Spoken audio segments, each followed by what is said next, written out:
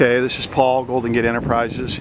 Um, what we have is, in the section where this two-story addition is, this little overhang was put in as a, an afterthought, if you want to call it that.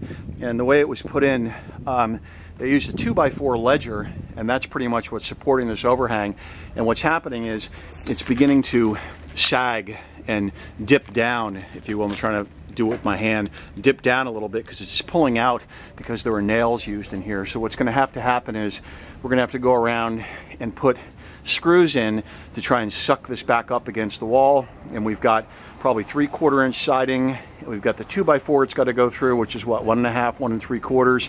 So I'm going to say we probably need two and a half inch wood screws that will go in and I'd say probably put in two for each bay if you will and go around here and do it up to the front porch over here. And in the corner you can see that little opening right there. A little block of wood needs to go on there a little trimmer piece just to close that little gap that you see right there.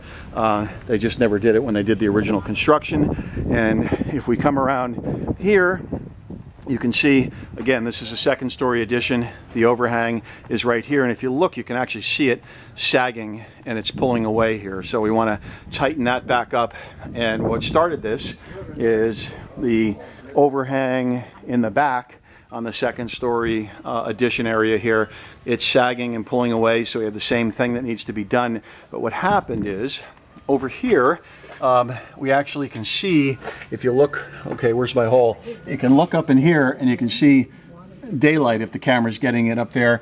And the reason is that the flashing, excuse me, I'm gonna get right where you are here. The flashing that comes up from the roof underneath that little bottom uh, last strip of siding uh, uh, it looks like the flashing is pulled away and in fact what's happened is water has dripped down behind it and that water dripping down behind it has taken what appears to be a one by two strip that goes from this corner to right about over here which is probably about eight feet and you can see where it's rotted it out because it was cheap pine. The board underneath seems to be fine and the water's come through there and it ended up probably on top of the trim right here and it ended up rotting this out here. And we need to pull off this trim here which looks like a um, half by maybe three something like that um, and maybe pull off the bottom piece put some two-part AB epoxy in there to treat the wood. It doesn't look like it needs to come out the siding. It just has a little modest amount of damage in here. Uh, and uh, once we open that up, put the trim back in, put the strip back in there, fix the flashing up there so water can't get through. I think we're, uh, we're all set and we need to put the screws in here. The other part of it is that inside the house here, there are signs of water damage right inside the window and there's the worst of it.